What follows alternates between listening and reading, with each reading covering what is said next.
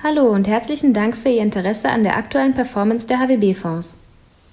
Die diesjährige Entwicklung der weltweiten Finanzwirtschaft ist geprägt durch den anhaltenden Handelskonflikt zwischen den USA und China.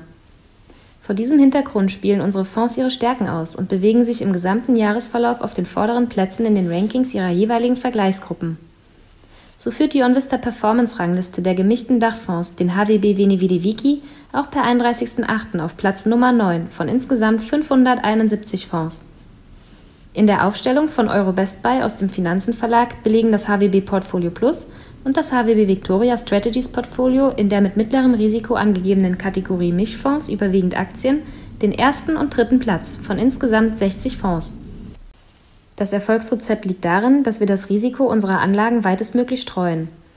Unser Fonds HWB Portfolio Plus beispielsweise zeigt, dass wir auf ein sehr vielfältiges Portfolio an Aktien setzen so haben in diesem Jahr bis heute über 100 einzelne Aktien zu dem bisher guten Fondsergebnis beigetragen.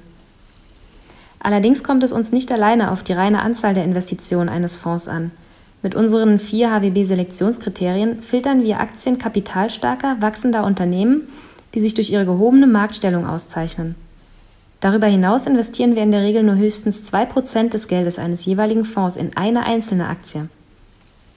Mit Blick auf den Gesamtmarkt profitieren unsere Investoren im Jahresverlauf auch von den bisher weitestgehend nachhaltigen Tendenzen der Börsenindizes.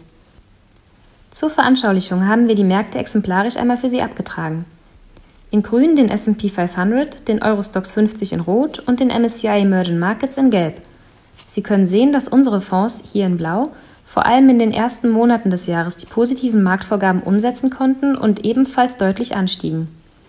Als die Börsenindizes gegen Ende Juli aufgrund der zunehmend spürbaren Auswirkungen der Spirale aus Zöllen und Gegenzöllen auf das weltweite Wirtschaftswachstum teils sehr hohe Verluste erlitten, blieben unsere Fonds beinahe wertstabil.